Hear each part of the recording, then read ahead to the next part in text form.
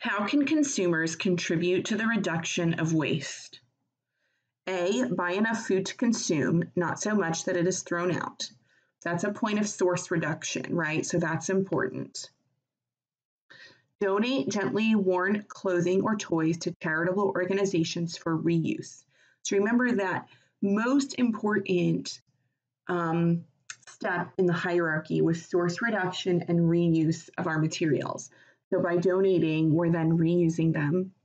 Or C, buy goods made of recycled materials. So that again is a way to complete that recycling um, cycle, right? So the second step of the hierarchy was recycling or composting, but by buying those recycled materials, we're in essence, that's another way of reusing, right? Reusing something that's recycled. The answer here is D, all of the above.